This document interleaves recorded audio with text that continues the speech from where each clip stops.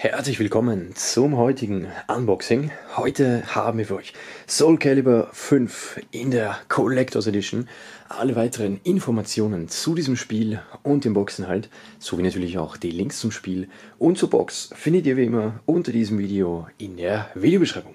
Soul Calibur 5 in der Collectors Edition. Das Ganze aus dem Jahr 2012. Wir haben hier mal wieder eine Box aus dem Bereich Gaming. Jawohl, es ist der fünfte Teil von Soul Calibur. In diesem Fall für die Xbox 360 in der Collectors Edition. Das Ganze ab 16 Jahren freigegeben. Hier unten rechts die Entwickler Namco. Und dann haben wir hier diverse Figuren, die wir hier in dem Spiel auswählen können. Unter anderem auch ein alter Weggefährte aus Assassin's Creed, in diesem Fall Ezio Auditore. Auf der Seite kommt das Ganze hier wirklich in so einer Buchoptik, also sieht aus wie so ein edles, gebundenes Buch. Oben beschriftet, auf der linken Seite ebenso beschriftet. Unten auch nochmal und auf der Rückseite lesen wir, was uns hier erwartet. Zwei Schwerter, zwei Generationen, ein Schicksal. So, als Patroklos und Pyra, die Erben von Sophitia, in den ewigen Kampf zwischen mächtigen Seelenschwertern eingreifen, beginnt in Soul Calibur 5 eine neue Ära. Die größten Krieger, spektakuläre Schlachten, verbesserte Gestaltungsmöglichkeiten, erobere die Welt. Okay, dann haben wir natürlich die Fotos, wie es hier in dem Spiel so abgeht. Und darunter direkt den Inhalt dieser Collectors Edition. Und zwar haben wir hier einmal exklusive Verpackung in Buchform DLC, also Inhalte zum Runterladen, dann vom Game Director signierte Grafik und auch ein Brief des Entwicklerteams im Pergamentstil, Making-of DVD und CD mit Original-Soundtrack, das Spiel natürlich und ein Artbook. Dann hier die Infos, Barcode und ich würde sagen, wir starten. Das hier ist so ein Pappschuber, da können wir das Buch entsprechend rausziehen. Und das ist dann die eigentliche Collectors Edition. Wie gesagt, kommt hier wirklich in so einer Buchoptik dunkelbraun und gold. Hier lesen wir den Titel des Spiels, ist hier entsprechend geprägt worden. Man kann hier das echt spüren. Dann die Seiten, hier wirklich so in vergilbter brauner Optik, wie so ein altes Buch. Und auf der Rückseite sieht das Ganze dann auch wieder so aus in braun und gold. Und das ist der Buchrücken hier auch nochmal mit dem Soul Calibur Schriftzug. Okay, im Innenleben ist dann natürlich der gesamte Inhalt. Als allererstes haben wir hier einmal die Making-of DVD. Aber wir holen erst noch den restlichen Inhalt raus. Und zwar haben wir hier einmal das Spiel an sich. So, dann haben wir den Kunstdruck und diesen Brief. Und das Artbook, auch wenn das rote Schnürchen hier jetzt nicht mehr ganz seinen Zweck erfüllt, das Band. Da habe ich einmal falsch angehoben, glaube ich. Okay. Und natürlich das Artbook auch noch mit dabei. So, bevor wir die Box noch zur Seite packen, haben wir hier dann noch die DVD. Das ist die hier. Making of DVD ab 12 Jahren freigegeben. Also hier wird man wohl so ein bisschen Hintergründe zum Entstehungsprozess erfahren und wie die Charaktere oder die Welten da designt wurden und was da so hinter den Kulissen abgegangen ist. Ihnen hier schön rot hier so mit Stoff ausgekleidet das Buch. Packen wir zur Seite und dann schauen wir mal natürlich alle, als allererstes mal das Spiel an. So, das ist das hier für die Xbox 360, wie gesagt. Das ist auch das reguläre Cover. Soul Calibur 5 Rückseite genau, ja, also die Texte, die kennen wir schon von der Box-Rückseite. Und dann schauen wir mal rein. So, auf der linken Seite haben wir hier einmal die Anweisung, also die Bedienungsanleitung. Hier lesen wir, was hier drin ist. Spielsteuerung und so weiter und so weiter. Dann haben wir aber überraschenderweise zwei Sachen hier drin. Und zwar haben wir zusätzlich zur Game Disk den angekündigten Soundtrack. Original Soundtracks steht hier. Also das ist die CD. Und dahinter dann kommt das Spiel zum Vorschein. Das ist dieses hier, OSK 16. Ja, also wie gesagt, zwei Discs, einmal die Game Disc und einmal die Soundtrack Disc, die CD.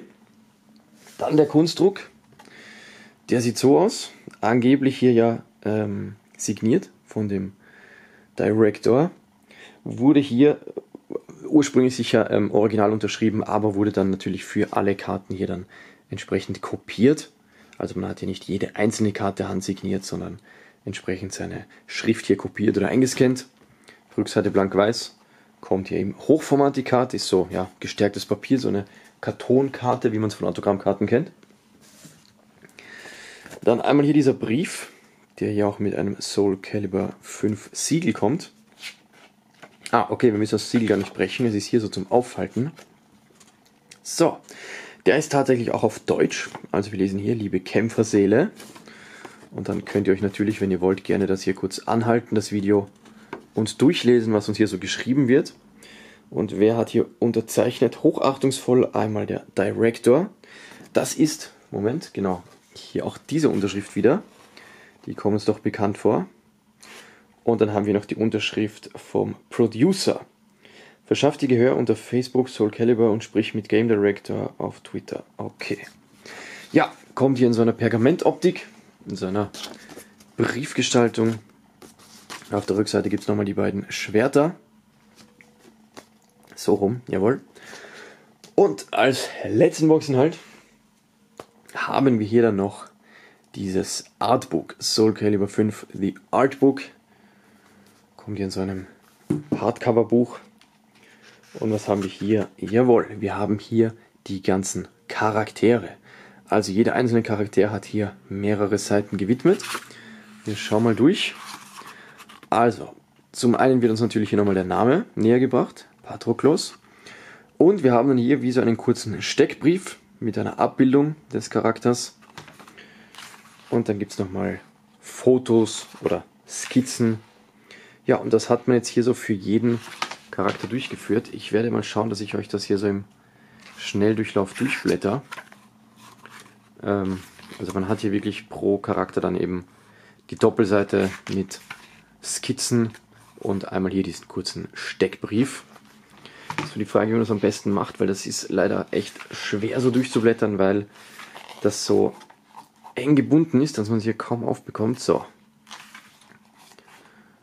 Aber ich denke, trotz der kleinen Schatten hier kann man es ganz gut sehen.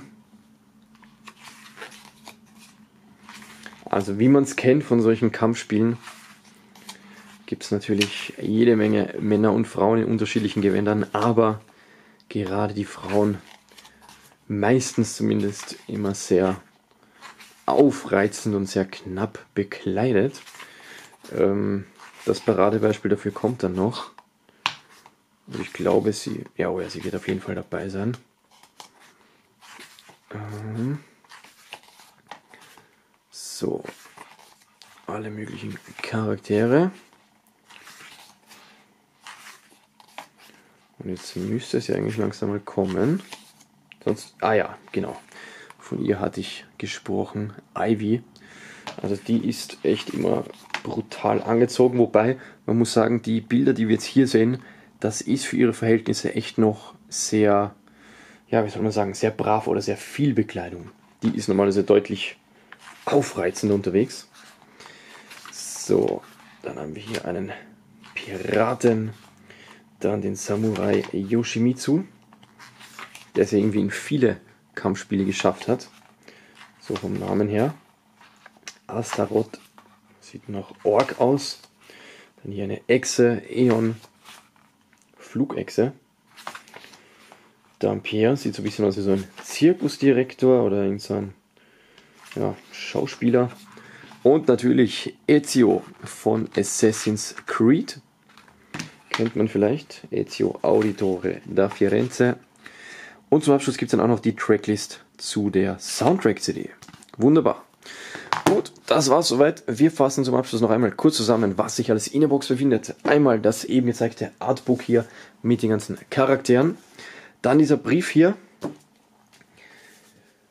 Der Kunstdruck mit dieser aufgedruckten Unterschrift. Das Spiel an sich, inklusive Game Disc und der Soundtrack CD. Und natürlich dann das Ganze hier in diesem wunderbaren gebundenen Buch. Und hier ist dann auch noch die Making of DVD mit dabei. Jawohl, das alles in dieser wunderbaren Soul Calibur 5 Collectors Edition. Mich würde natürlich interessieren, was haltet ihr von dem Spiel bzw. dieser Edition? Schreibt es in die Kommentare. Und wenn ihr das Ganze feiert, falls ihr Soul Calibur 5 unterstützen möchtet, dann findet ihr die Links dazu unter diesem Video in der Videobeschreibung. Das war's für heute. Bis zum nächsten Unboxing. Passt auf euch auf. Ciao.